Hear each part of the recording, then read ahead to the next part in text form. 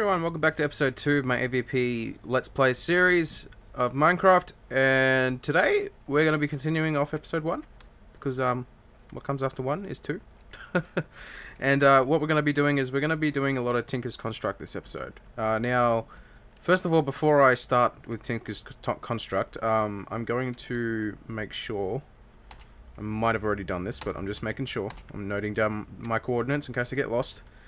Um, I added two more mods called the Magical Crops mod and Morpheus mod. Um, the Morpheus mod allows me to sleep even when my alt's not sleeping, so that should be okay. I'm hoping it works. If it doesn't, then I probably did something wrong. But, yes, that's uh, cool. The Magical Crops mod allows you to... Right, let's go searching for some stuff. The Magical Crops mod allows you to um, grow crops that yield ores. Or even like bones and I don't know, like anything that is in naturally Minecraft, you can grow using crops. Now I haven't really played around with it much, but I've seen other people play with it, and I really want to give it a go. So we're gonna see what the, how that's how that's going. So anyway, that that won't be this episode, but um, yes, this episode we're gonna be doing a little bit of digging up clay and getting ourselves a smeltery going up from Tinker's Construct, which is just basically a big, humongous forge it allows us to craft some pretty neat tools and strong weapons and all that. So yeah, so for now I'm just going to be exploring, trying to find clay, sand. Uh, what else was it? I think we need to make... What's it called? Here it is, grout. Okay, so we just need gravel, sand, and clay. Cool. Okay. So I'll be back once I've done all that. And, um, by the way, I tried to add some, uh, minimap, minimap mods with waypoints and all that. But the forge I'm running on at the moment doesn't support it. So in order to run the minimap mod, I'd have to remove the Alien vs Predator mod because the Alien vs Predator mod only works with certain Forge mods. I mean, Forge versions. So, yes, that is unable to do. I'm unable to do that, but we'll we'll see. I only tried, I think, two. It was I don't know. It was like yesterday. I think I tried it out. Um, JourneyMap and Rei's minimap. Uh, there's probably some others, but yeah. Okay. Seriously now, I'm gonna go do some boring stuff, and I'll be back. Okay, so I'm coming back really quickly to show you one of the mods I added. So it's nighttime right now. I'm gonna be sleeping. And what should happen is, but uh, done. Uh, guinea pad didn't need to sleep for me to pass the night. So that was pretty neat. And I'm, I was looking for a sand. There's not a lot of sand around here. Um, go away, please. And I came up with this idea of using the Magical Crops mod to get some sand. Um, I'm not going to do much of it on camera, because I promised this episode would be a Tinker's Construct episode. But basically what I'm going to do is I, I went around killing seeds. I mean, killing grass and just getting a whole bunch of seeds. And um, I there's, for some reason the crafting recipes are not working for the different crafting thingies in their Magical Crops mod. But um, there's this thing you can use called Essence of Earth and also air and all that. And you can grow all this stuff and you can make like normal blocks out of it. Like for instance, I want to get sand, so I need Essence of Fire, Essence of Earth. And in order to get that, I've got to start growing these guys. And then I mix them, mix the finished product in a crafting recipe and basically you'll see how it goes because I'll be cutting back every now and then. And um, yeah, so i got to get a farm going. So Otherwise I've got to travel quite a bit just to find some sand. Alright. Okay guys, we're back for about half a second showing you the essence seeds. They look neat. Alright, so I don't know if you can use bone meal on these, but can you? I'm not sure if you can. I'm not seeing much happening. No, I don't think so. Cool. Okay, I'll leave that there. Um, anyway, I've got some sand. Um, yeah, I found some over there. I thought I wouldn't find any, so I just had a double look over the area, and then I found some. So, this is what we're going to be doing. We're going to get grab some sand, some clay, some gravel.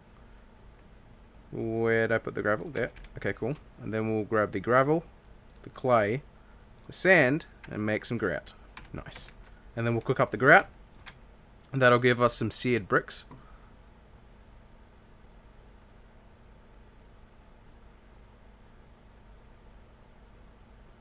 Ta-da! And then we'll go from there once this is all done. Alright guys, we're back, and I think I got everything I need. I got the seared bricks and all that stuff. Now, what we're about to do is science. Well, first we're going to get some seared bricks. Uh, this whole thing we're going to be doing is called a multi-block structure, which means that I probably want to be doing it outside where there's more room. Yeah, screw it.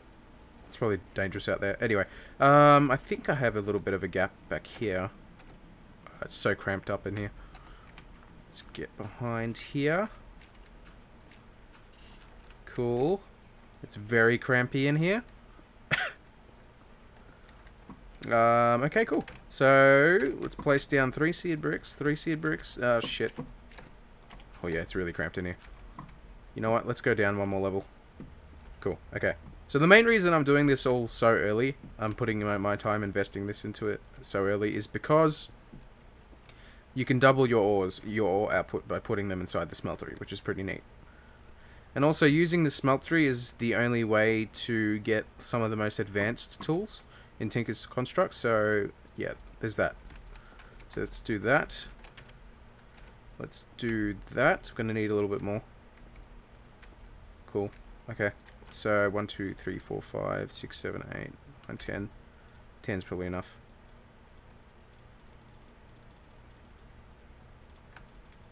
Okay, so we've got one there, one there, one there, one there, one there, one there, one there. And that was actually probably too much. We need a few other things. We need the seared tank, which is what's going to melt everything down. We're going to chuck lava inside it. So I need a bit of sand. Uh, I'm just going to cook up half of you for no reason.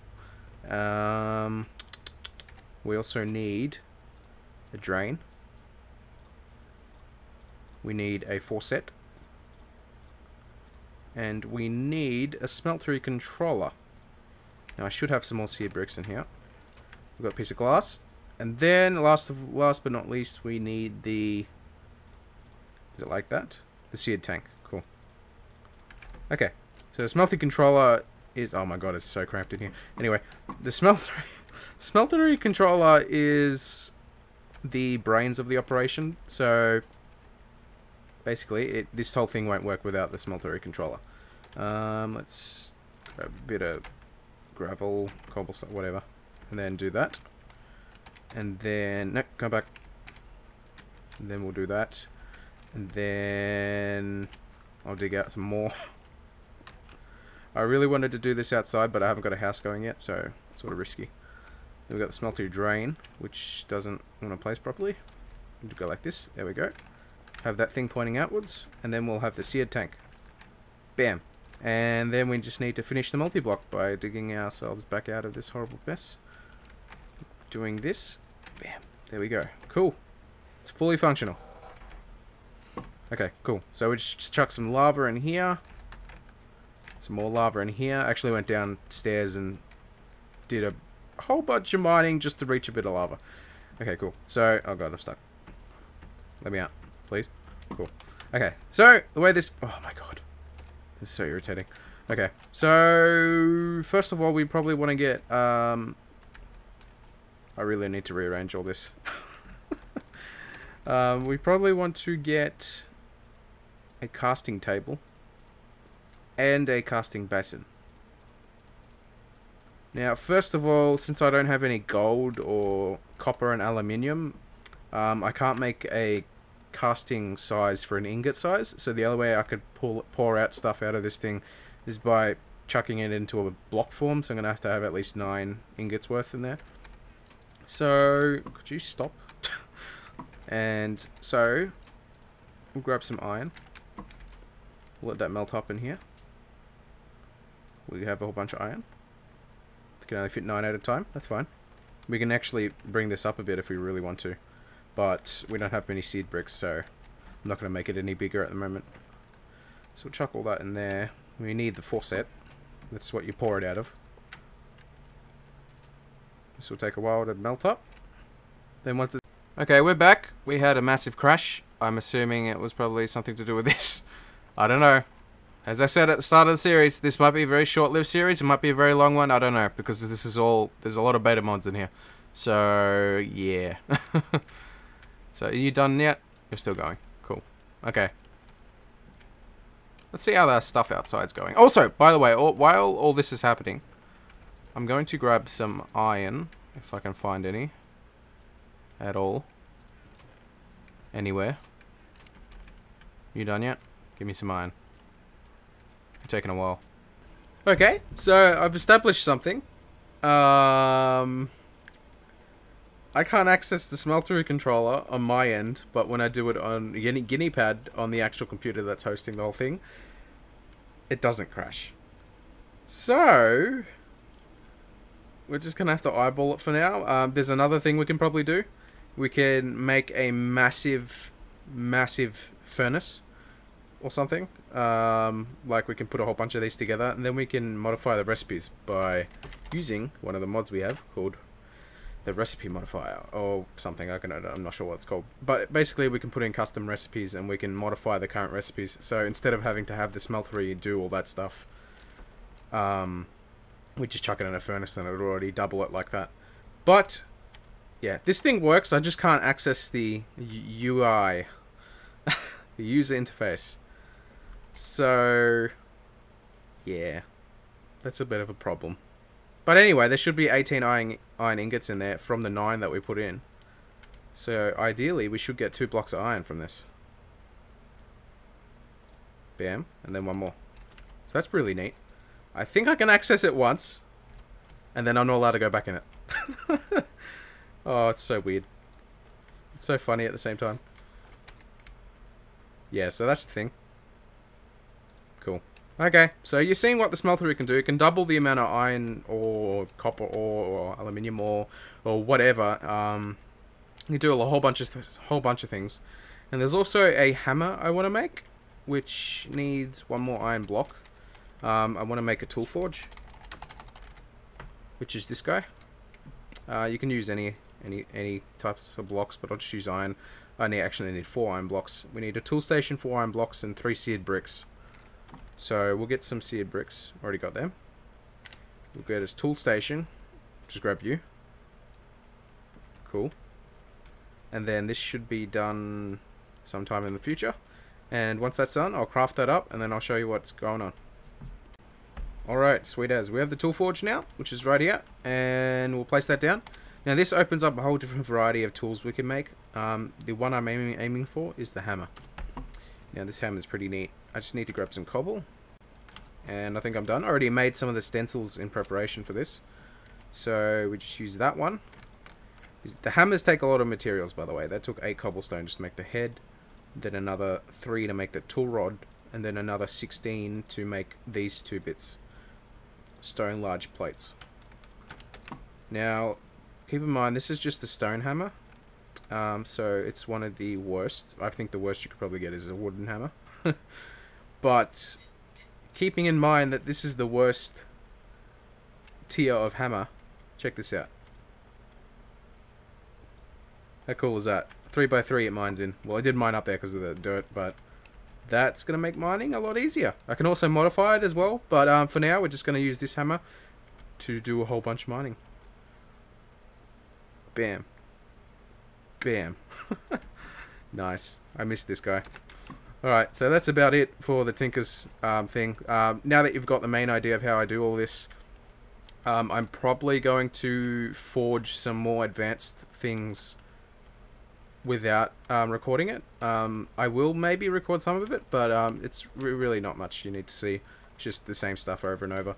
It's, but when you're crafting with metals, for instance, I'm using stone right now, you can just do it in here. But when you're crafting with metals, um, sorry, in here, um, you need to get that, then, for instance, get that, get that thing, then place that thing on a casting table, then cast some aluminum bronze or whatever around it, so it makes a bronze casting of it. Then you need to place the bronze casting on top of another casting table, and then pour whichever material you want to make the hammerhead out of it into the casting. So, yeah, it's uh, it's a process that's very repetitive, and um, I probably won't show you unless you want to see it. But um, yeah, I think that's about it for the Tinkers section. I'll be doing most of that off camera, and um, it's a very powerful mod if you like using it. I really love using Tinker's, Tinker's Construct, it's amazing.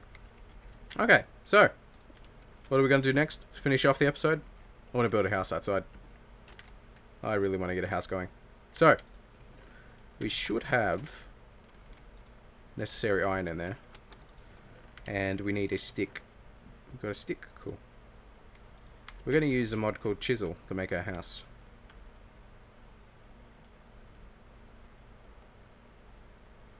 Sweet. Okay, cool. So let's break that down into ingots. Then we'll go like this. And this. Cool. And by the way, Tyrion. There's a few different blocks we can get. Um, how do I make that? Iron and stone. We've also got fantasy blocks. How do we make those? We make those with purple fantasy blocks, more stone. That's okay. Just for now, we'll probably use cobblestone. And with a chisel, you can chuck in a normal block and transform it into a whole bunch of other things. So for now, I think maybe that will do. Um, I'll just build this off off camera, sort of, most of it, but I'll give you the main idea what I'm going to do. Um, just that stuff. I just want to build a house outside, so I've at least got something going on. Oh god, it's nighttime.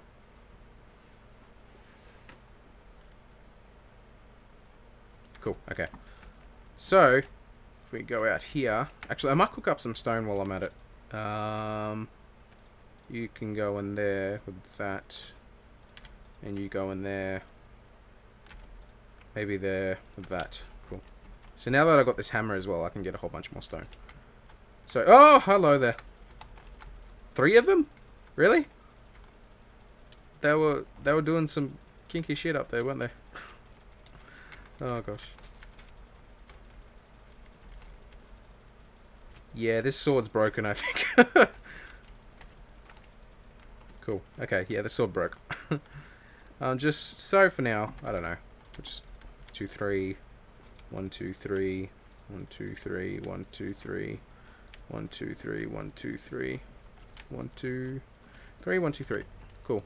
That's that's good enough for now. And then we'll just do an entrance here maybe, and do a few slopes. But that's the main idea. Just want to get a house going. So, you'll see the house um, done in the next episode. Um, I usually don't like building on camera unless it's like a purposely creative series or something. But, yes. Alright guys, hope you guys enjoyed this episode. Um, not much has been happening, but it is the start. Yeah, there's not really much happening. I still haven't seen any Xenos, which is starting to worry me. Or Predators. Um, if any of you, if any of know any more about that, could you please tell me? Because um, if not, I'm going to have to start manually spawning them in. Um, stop, go away. Shoo. Oh, for God's sake. Anyway, yeah, that's a problem at the moment. Alright guys, so before we finish this up, I want to try chuck in at least something AVP related into the house. Um, so what we're going to do is we're going to go game mode 2. Nope, that's wrong. Game mode 1. Alright, don't panic, we're not cheating, we're actually doing something so we can make a recipe.